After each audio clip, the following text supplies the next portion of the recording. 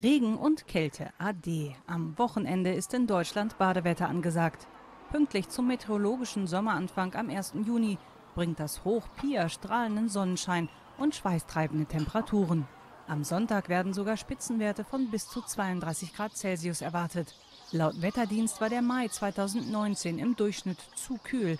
Es gab Bodenfröste, Schneefälle bis ins Flachland und vor allem in Süddeutschland heftige Niederschläge. Andreas Friedrich vom Deutschen Wetterdienst. Der Mai war wirklich ein kühler Monat. Es war sogar der erste zu kühle Monat seit äh, 13 Monaten, seit April äh, 2018. Wir hatten 13 Monate am Stück zu warme Monate erlebt und das war ein Rekord, das wir noch nie hatten seit 1881. Also wir sind im Mai mal so ein bisschen wieder in die Realität zurückgekommen. Die kommende Woche könnte einige Turbulenzen bringen. Zusätzlich zur Sommerhitze nahen von Westeuropa her feuchte Luftmassen heran. Der deutsche Wetterdienst rechnet mit Gewittern, die zum Teil heftig ausfallen können.